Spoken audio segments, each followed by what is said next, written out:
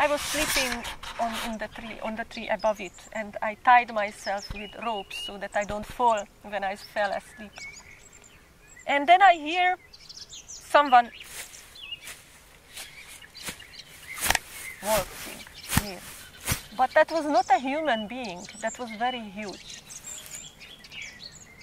And walking, walking, and at that point, when it came to my tree, it means near the barbed wire fence, from inside, that being was walking from Bomjon's meditation place, the place we called meditation place. Of course, he was not meditating, he was doing everything else there. And that person crossed the barbed wire fence as if there was no fence. Still, I was hearing these steps. But you, I have very good hearing uh, and a good like smell. So this, these are the sense organs you need very much in a jungle. And I recognize that person cannot be a human being because the steps were just heavy. And the steps were big, not like uh, when a human being does uh, a meter or half meter steps. Those steps were like two meter steps and they were coming towards my tree. So that was kind of obvious that if it's an animal, that the animal smell smells my uh, my being there. If it's a human being, then that human being has a sense, a psychic power to know on which tree I am, because it was pitch black, nothing. There was no light, and that being also, of course, didn't carry any light. It was in pitch black. So obviously, you get you get very scared. You get very scared in a jungle like that. But the thing is that somehow I was so much uh, trusting Bomjon, and I was so enthusiastic, so fascinated with with the vibrations of the jungle, and I trusted that Bomjon would, if worse, he would just protect me. Of course, the opposite happened. He was my attacker and torturer later on, but I didn't know it at that point. So my trust in Bomjon, the nearness of Bomjon and his followers, who used to be my devotee friends, that trust uh, made me not to be afraid. Because I thought if anything I would just shout and they would come and help me which is absurd because they were my torturers in 2012 and that being came very near to the tree. And I can tell you I was so scared I didn't know if it's Bomjon himself if it's an elephant but the elephant has four legs that being had two legs. And even black bears, they are not so heavy actually. Black bears doesn't make such a heavy step. And they have four legs. When they walk, they walk on four. What was that? what was that? Until today, I don't know. That being came near to my tree, and I think I was praying a lot.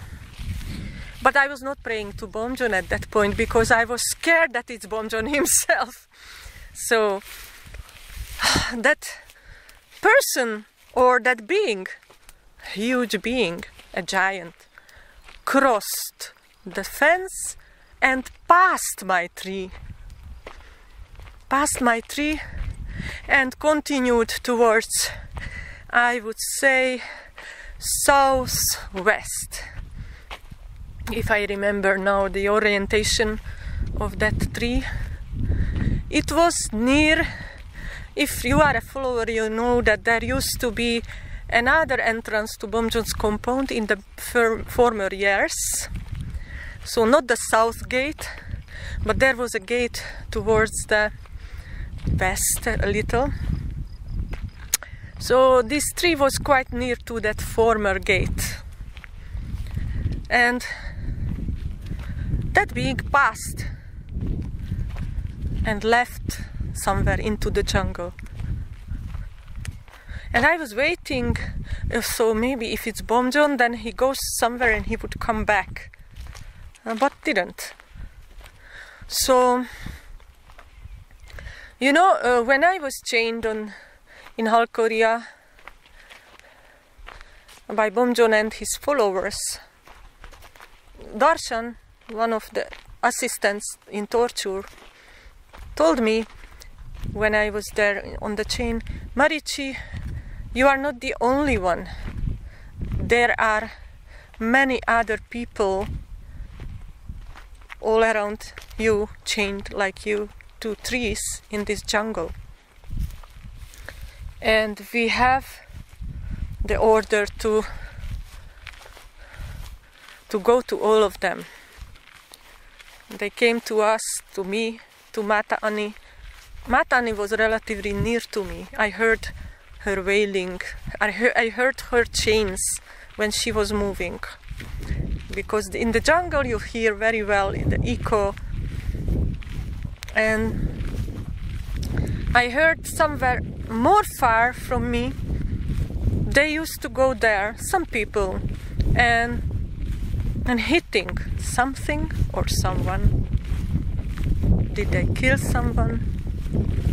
So, what you experience in Bomjon's compound, that would make up for a bestseller horror story. Because it's just fear and fear and fear and guessing and assurance and you you hear voices. You feel things. You you you are very scared. But back in 2011 i was still his follower.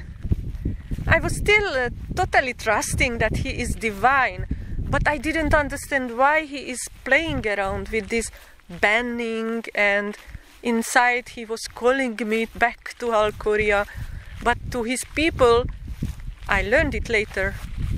He told that I was a witch and if they see me that they have to pirnu, katnu, marnu which means pirnu is to beat, katnu is to cut and marnu can mean beating as well, but very much like thrashing or killing. So when you see Mareechi, he told to Darshan, Tomek Tarnowski, Molam Lama, Xiang Bodong, many others. If you see Mareechi, then beat, cut, and kill. So also they he told them if if you see her near my compound then uh, you have to attack her and uh, kidnap her and bring her back. So there are many such so stories when i was nearly kidnapped and then released. But uh, there is so many things to say. I just wanted to focus in these videos on the psychic events, the kind of miracles which which made up this this whole atmosphere of you don't know, you are confused. Is it divine? Is it demonic? Is it is it hell or is it heaven? You feel both. And I was struggling inside with me with these feelings all over 2011 and I must tell that even during the time when I was on the chains.